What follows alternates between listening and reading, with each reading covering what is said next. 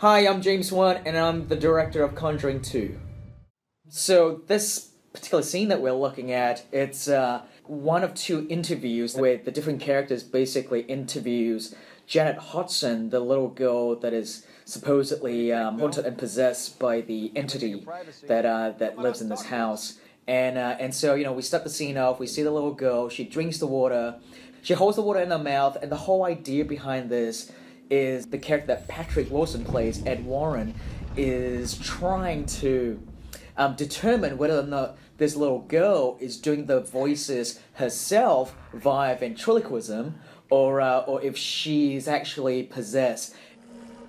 Am I talking to the spirit that's oppressing this family? what I wanted to do visually is, you know, or you know, with her out of focus in the background, you start to kind of question and you start to ask yourself, is that still the little girl in the background, or has she now transformed um, into uh, you know into the character that that she's supposed to be possessed by? Um, I just thought that this you know would be an interesting way to shoot this sequence and and to not do it in the traditional way and uh, and just let it play out in one shot. And I just think it's a good break, you know, from all the sort of you know quicker, faster paced editing of the whole movie to uh, to show this sequence being depicted like this. Me, just like everybody else.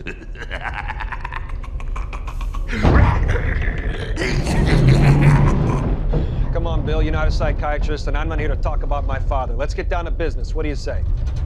Hmm? Why don't you just leave these people alone?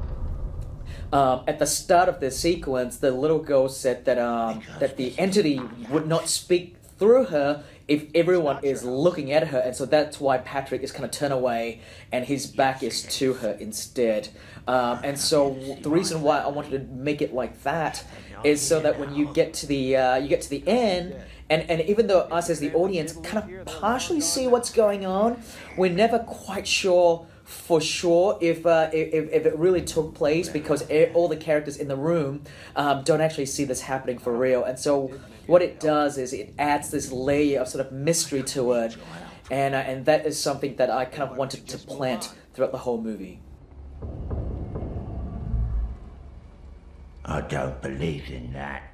One of the things um, that the sound design is doing here is uh, I wanted to create that that uh, the feeling that the whole house is alive right now during this interview moment, and and so you know I wanted the house to be almost responding to the questions that Ed is asking. So, so you know so it's creaking all over the place. It sounds like we're in the in the bows of a ship, you know, and, and it's you know breaking apart, and, and you know like the floorboards are you know falling out, you know are, are ripping out of the floor, and and all that kind of stuff. I don't know. I just thought it was uh, would be uh, would be fun to, uh, to to play with something like that. Help!